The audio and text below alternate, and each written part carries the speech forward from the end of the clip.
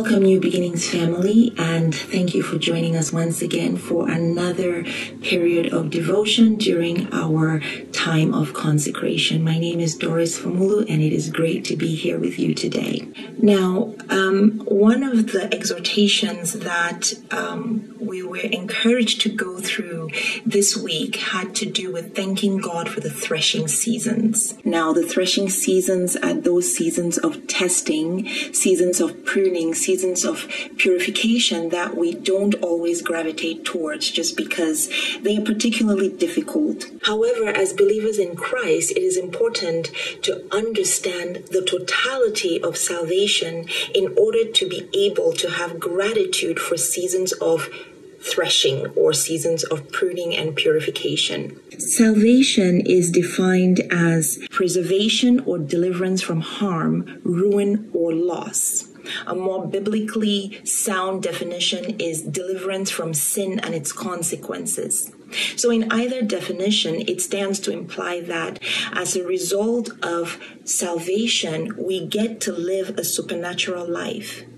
Now, living a supernatural life does not necessarily mean that we are living free from obstacles. However, it means that it is a life lived from a position of understood victory. So, you know, when we have trials and tribulations, when we're going through threshing seasons, we understand that the battle has already been won. The ultimate price was already paid on the cross of Calvary, so it is finished. So, whatever we need to do to find the grace to get through the threshing season, let us do it because we already have the victory. Now, salvation is a free gift, but to walk in its full benefits, to draw from its many wells or its many springs, according to Isaiah 12 3, which says, With joy you will draw water from the springs of salvation. One of the key principles to abide by is the principle of complete surrender.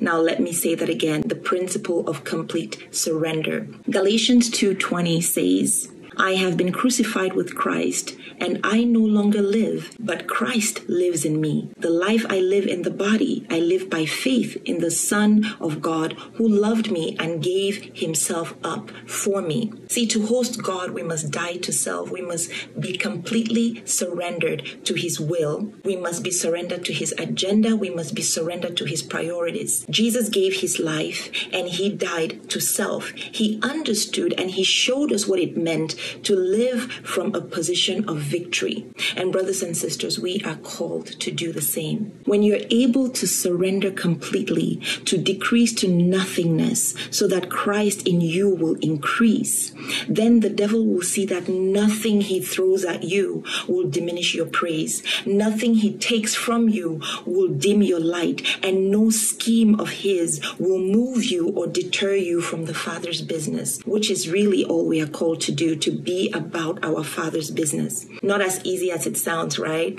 I didn't think so.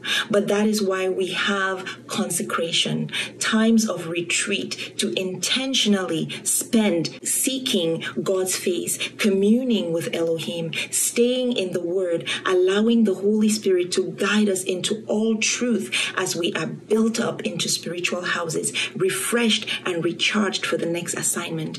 We often want a holiday break after a long season of work or after a long season of school. Spending time in consecration, spending time in the Father's presence gives us an opportunity to do just that to worship, to exalt Him, to acknowledge Him. And then in turn, He refreshes you because there is fullness of joy in His presence. He leads you, He guides you into the truth because His Holy Spirit will show us where we need to go, will give us strategies as we continue to exalt Him. He directs our paths. So recognizing that complete surrender to our God is an act of worship as we are reminded by Romans 12:1 where it says, "Therefore I urge you, brothers, on account of God's mercy, to offer your bodies as living sacrifices, holy and pleasing to God, which is your spiritual service of worship."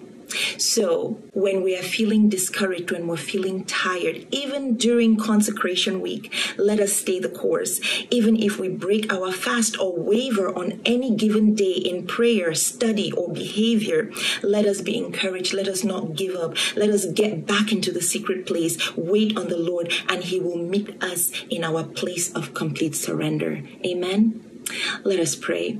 Father, Lord, we thank you for this period. We thank you that we are able to come into your presence where we can be refreshed, where we can be taught by the Holy Spirit, where we can practice complete surrender and be prepared to emerge as spiritual houses ready to face the battle that continues to rage on with your glory, with your power, and with heaven's angels on our side. This we pray in Jesus' mighty name. Amen. Thank you and see you next time.